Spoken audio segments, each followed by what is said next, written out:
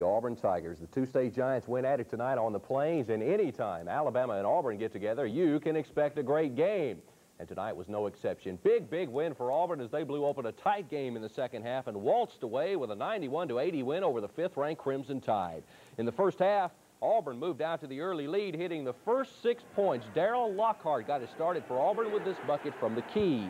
Odell Mosteller played his usually great game. He had 23 on the night. He'll can two there from the corner. Terry Williams continued his hot shooting for Alabama in the first half. He nails one there from the key. Right there he goes. He's been phenomenal the past three games for Alabama. But the story of the game was Charles Barkley. Watch there the feed from Alvin Mumford, and Barkley slammed it over Bobby Lee Hurt. Charles led Auburn with 27, 23 of those coming in the second half as the Tigers battled from behind.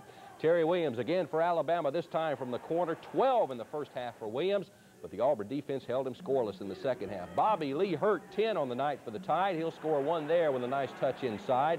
Sonny Smith rallied his troops from a four-point halftime deficit. Mosteller with the rebound on the missed shot here. He'll go the length of the court, take it all the way to the hoop, and watch the shot. Great shot by Odell Mosteller.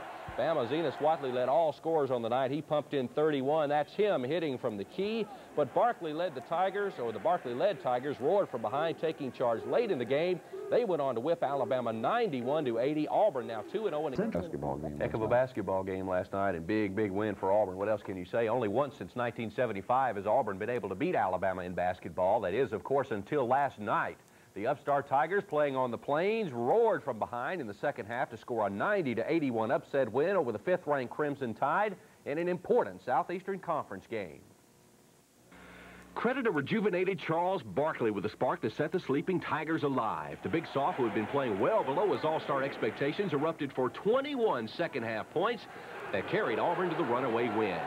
Barkley played like a man possessed. Here on defense, he blocks a shot by Bama's Bobby Lee Hurt. That starts a fast break that ends up with Barkley getting the layup on the other end.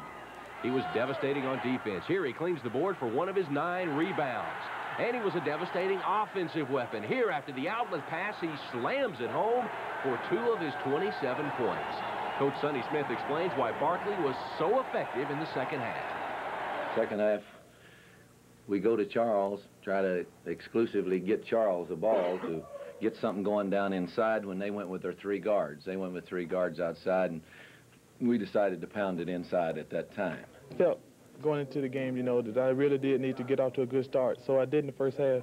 And when I scored a couple times in the second half, I felt like I could take it to the hole, either score or get fouled. You know, and Paul them did a great job of giving me the ball. There were other heroes for Auburn last night. Hot shooting Odell Mosteller poured in 23. That's him scooping the rebound. He'll go the length of the court and beat the Tide defense for an easy layup.